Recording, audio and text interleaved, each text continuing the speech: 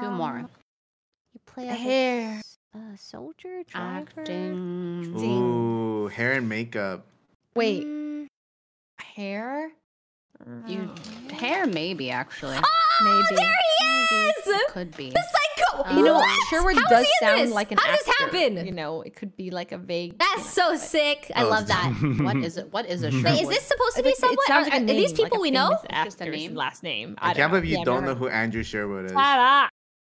I don't know who that is either. Who, Kind of weird, your, chat, your chat, your look at him. It's even laughing at you got his, his shirt with laughing the triangle, the star. Driver. You could act as a driver. Acting. That is true. You can act. What?